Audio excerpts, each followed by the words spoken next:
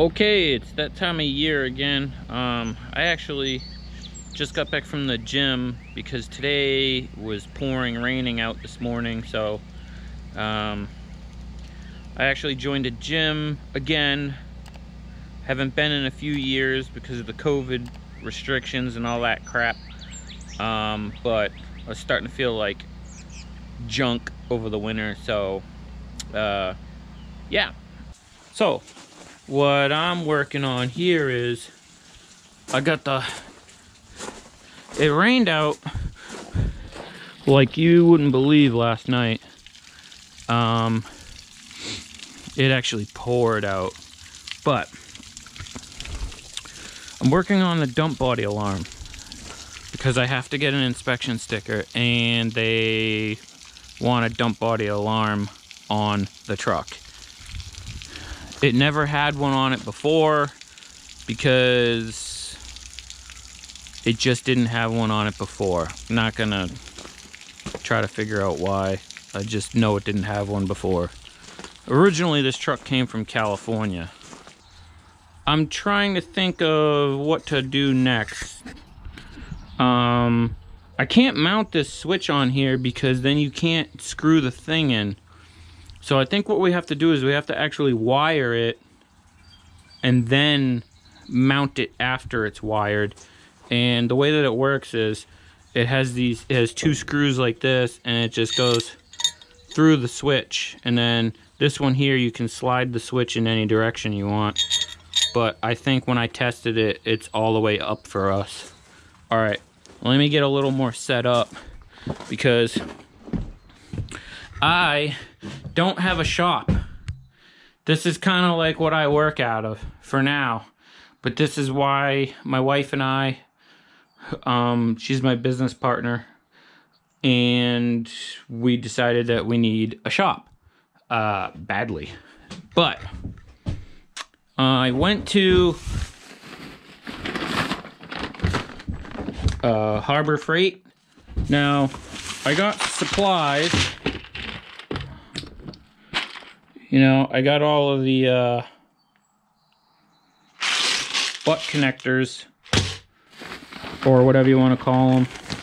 I got zip ties in case we need to zip tie the wire uh, and the loom to anything. Um, I bought these for stripping because I was sick of the other ones and these work really good. My dad used to have a set I used to use all the time and I liked them. What else did I get? Oh, I got the important stuff. Electrical tape. Now, I also got more heat shrink to heat shrink tube goes over the wire. I got 10 feet of 3 eighths uh, wire loom they call it protective wire wrap. I call it, you know, plastic loom. So I might be wrong, but whatever. That's all you really need to do this project. Let me, I think what I'm to do is I'm to set up a wire, like make up like a little harness, and then I'll turn the camera back on and show you what I got going on. Okay, so I had to stop what I was doing because it rained again. Um, uh, I don't know how well that comes up on camera. I can barely see it, but it rained out again. All right, so this is what I made. I put a red wire in there and a black wire in there. And I taped them together in, and then I put them inside here.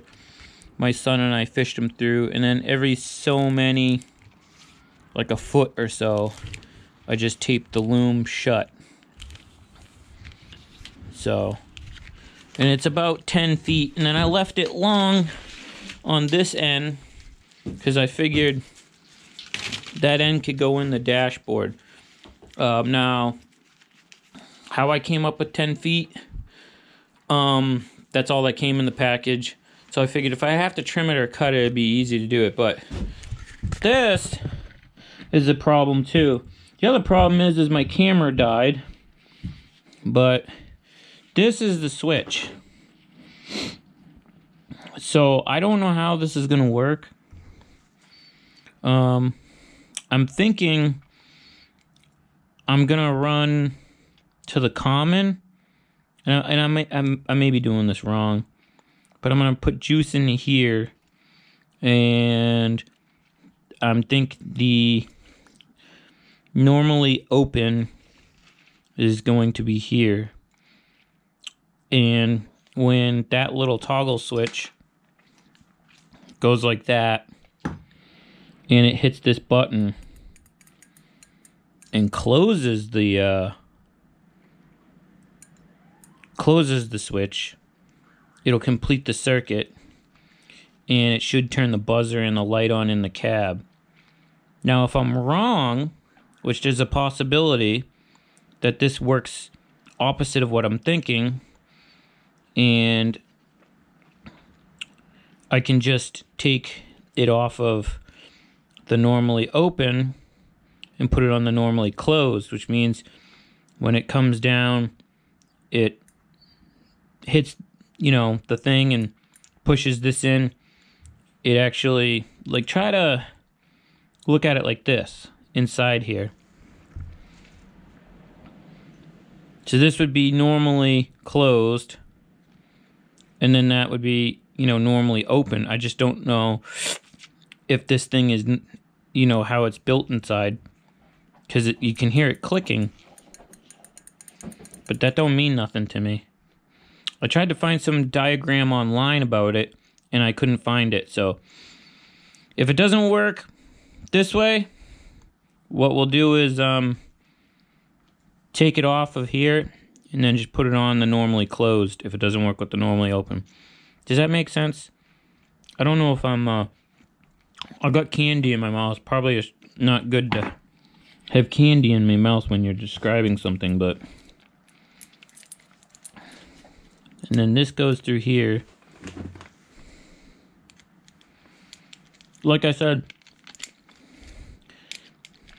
I uh I got candy in my mouth because uh I don't know, this, is how I am. I'm not really going for the professional YouTube channel here, okay, guys? I just want to keep it like an average Joe doing stuff.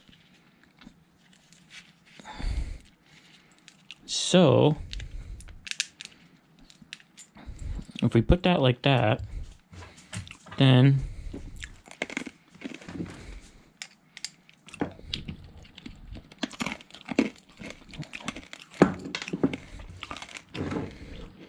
I went down to Florida and uh, got hooked on Werther's Originals.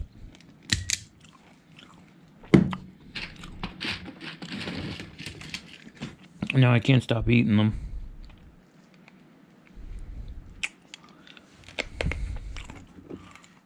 That fit through there? No, it might have to go a little bit bigger. All right. Hmm.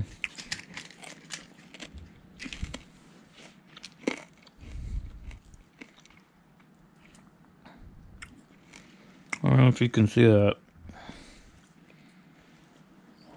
That's just a little too big. All right, that's perfect, the middle one. Okay. So, let's put that on there. Blue.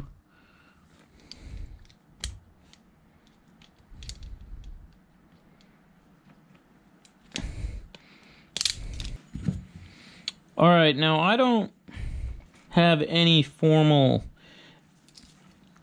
um,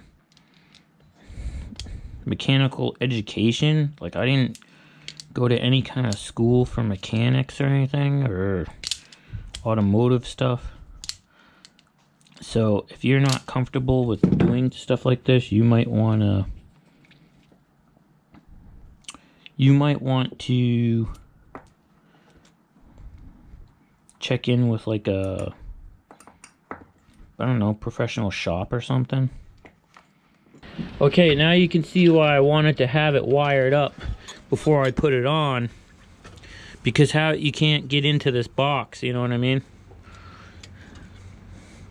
so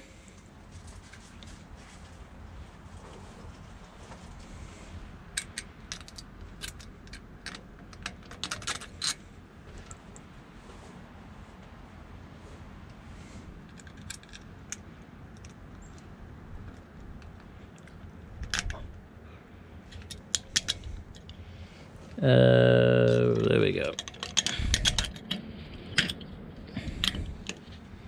All right. So it just has these two little nuts on the other side. It's always good to have two nuts. See, and you, you can adjust this if you wanted to. So like, so it could do that, but I think ours is gonna stay all the way up. Now we can, we can run this wire down and along the frame inside the frame rail. I'll run it inside the frame rail. I have to lay on the ground. Uh, the plywood's wet, but what I'll do is, I know you can see, right down through there, I'll come up here with the rest, and then I'm gonna go up and go through that hole and um, with the wire loom. And then what I'll do is I'll get more of this pipe dope like I, uh, not pipe dope, but firewall dope like I did for the, um, this is the electric tarp uh, controls. So we'll do that. And then if we wanted to, we could get power off of this, this solenoid.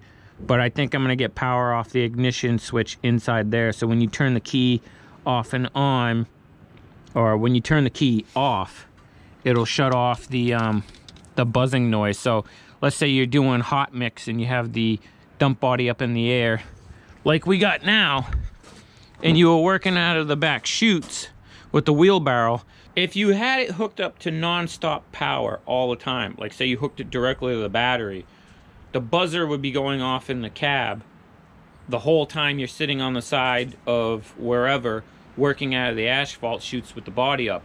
Or just like we are now, let's say you're washing the truck, the back of the cab. Okay? The same thing, the buzzer would be going off. So you have to hook the buzzer up to the ignition switch. So when the key's off, the buzzer's off. So this is all of our wires that need to go into the dashboard. Unfortunately, I got a little bit of grease on them, but that's okay. They're gonna get real dirty and then I, I'm just gonna wipe them off with a rag when we get to the cab part. Because the frame is all dirty you know what I mean? Underneath the truck you got like grease and oil slinging everywhere when you're driving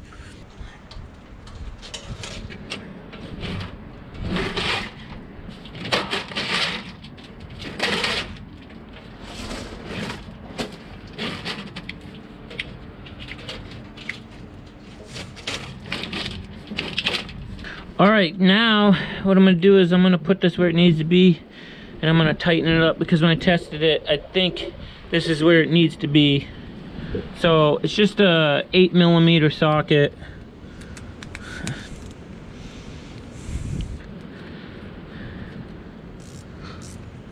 There was a wire that ran through here before that went to a divider valve and what I did was is I cut all the um these are all tight together like so and I was cutting a lot of the excess um, zip ties and everything because um, when I gave it a haircut, I took out a lot of crap that was unnecessary. So before redoing the zip ties, I figured it would be best to just run this new stuff and then uh, just do one larger zip tie around the whole bunch like that you know, kind of like make a new wiring harness and not zip tie something to a zip tie to a zip tie because I've done that before and it just number one it looks like crap. Number two it really makes it difficult the next time you have to work on something. So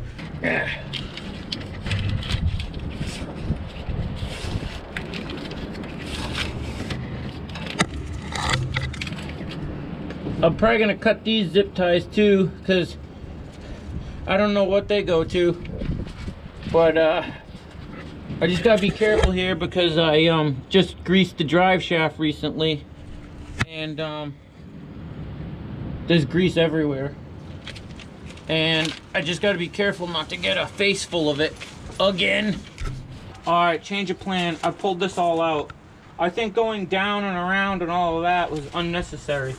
I think what I might do is I might just come along here like so I have a thing I can put here and then it, I can screw it to here.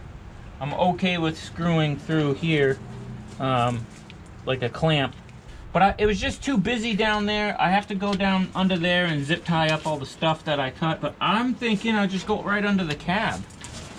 Uh, and I'll follow the uh, tarp, um, the electric tarp cable, and that'll give me something to zip tie to because that's pretty sturdy stuff. The reason why I want to go this way is because underneath here, you can see that's a factory, there's a factory hole. Um, not a hole, it's a, it's a bracket with a, um, a big loop for um, holding wiring harness. So,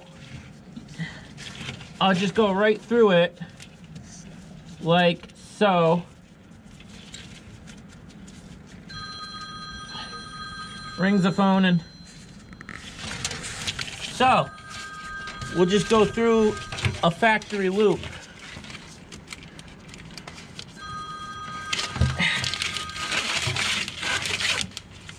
All right, now that's a lot better. Back there, I can just zip tie it. All right, let me get the phone.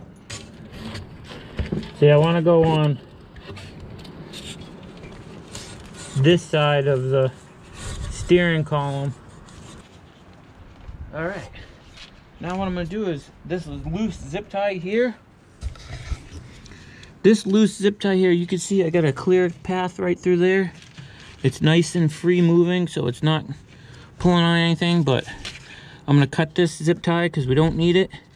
I'm probably gonna move it up, integrate this zip tie with this factory tie down holder over here somehow and then put this in with it and follow this all the way up because this is nice and stiff so this stuff flops around so we could keep it tight to there like so then that'll uh, eliminate any of the chafing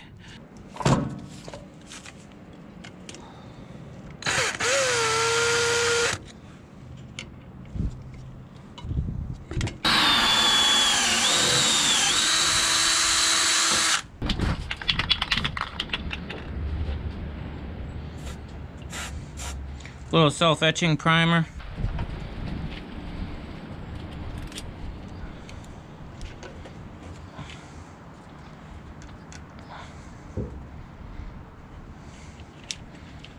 Nice. Tighten that up. Hit it with some paint.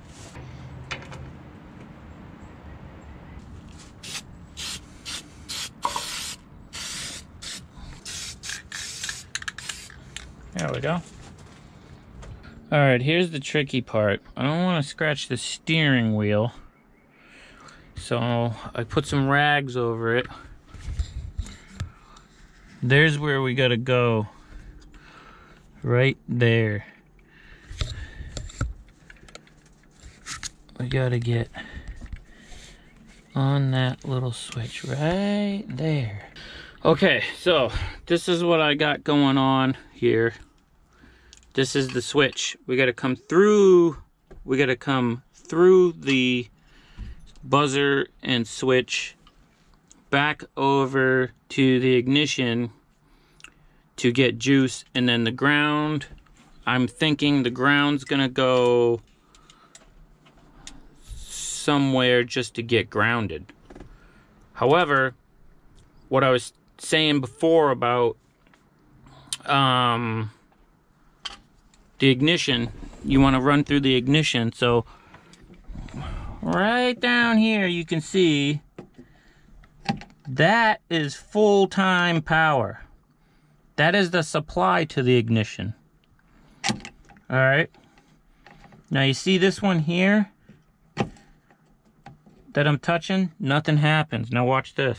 All right, now I'm gonna turn the ignition on.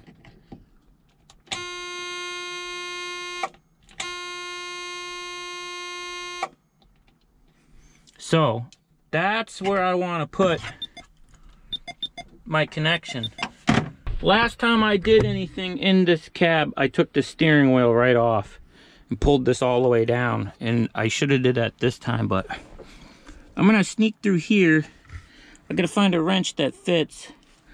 And I gotta take that eyelet off. I'm gonna put an eyelet on here, but before I put the eyelet on here, I wanted to make sure what size it is because these are very, very small. So I'm gonna go the next size up so I can match onto the ignition.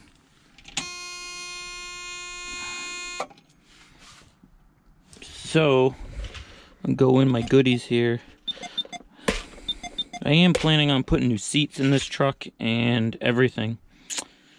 Um, until the day they tell me I can't drive it no more in my state, and then I'm gonna retire. All right.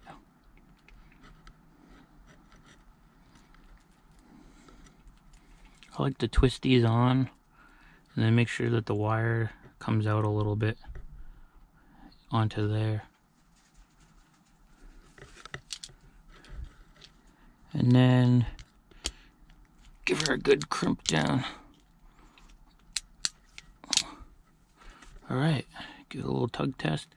All right. All right. Now, if I did this correctly, um, you'll get this. When I touch this ground,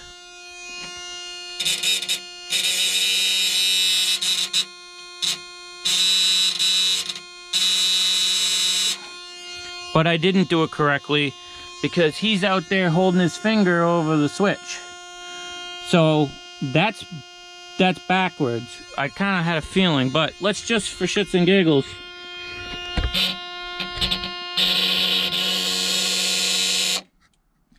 That's what the ignition off now. Bryson, you try what? Hold on. When it goes back on, you hear the buzzer. Yeah. You let go of the switch.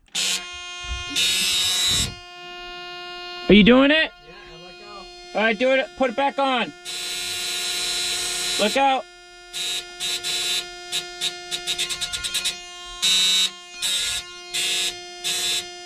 All right. Okay, so that is done correctly, but not correctly.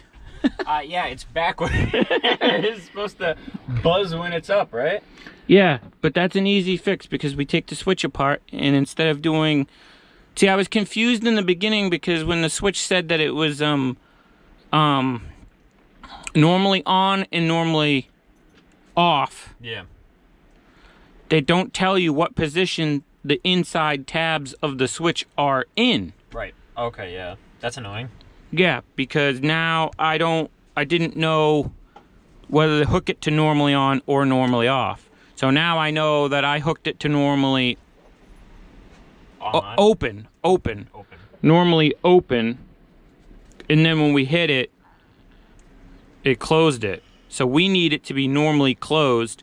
When you hit it, it breaks the connection, or when the switch goes up, it, or vice versa. I have no clue, dude. You, you lost me. I know, I know in my head what it is, you but know what it is, but I. I don't know how to. My problem most of the time is I don't know how to explain myself. I just know it's backwards. It's backwards. We just gotta take the wa- take the wire off the middle one. N- nope, and just move it to normally closed.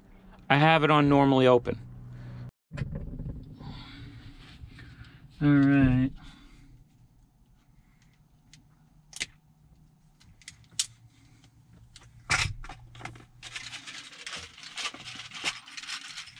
Get one of these big guys here.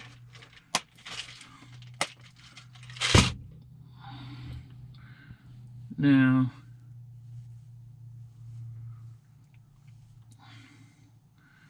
this is a lot bigger, so what I'm going to do is I'm just going to give her one fold. Because in order in order to use this screw, I have to use this eyelet. So we'll give it a fold, stuff it over. It's pretty snug, but once we crimp it down here, it should be even more snug. Uh, yeah.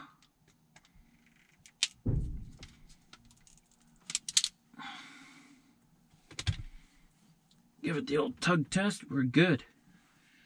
Now, put that in there.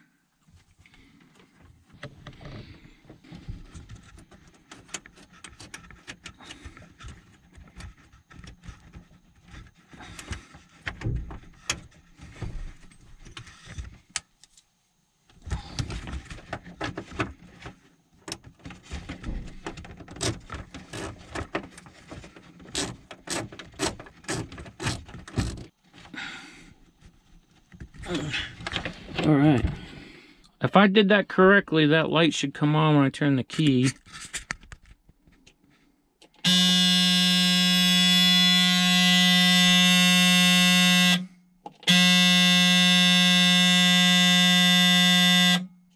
God, that's annoying. Let's see if this works. I got a new horn coming too for the horn button. Let's fire up the truck.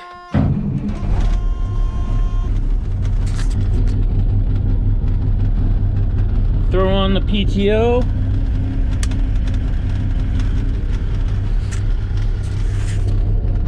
Go up with the body.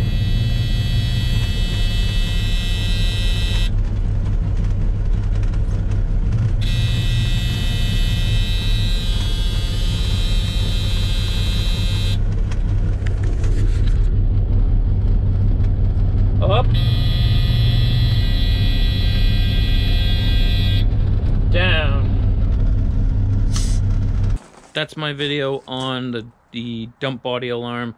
Um, it's not really a how-to. Um, I don't do how-tos. I just do entertainment stuff. And most of the time I make these videos just to entertain myself. And you guys get to come along and watch me, uh,